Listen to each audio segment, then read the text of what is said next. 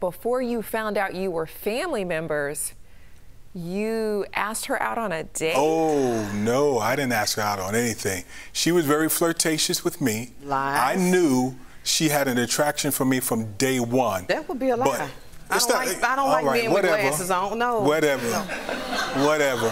Whatever. So anyway, she was attracted to me. I wasn't attracted to her. See, I like a woman that has class and sophistication. That je ne sais quoi. excuse me. She does not have that je ne sais quoi. What she has is hell no. Oh. So that's how we going. That's what we're gonna do here. Yeah.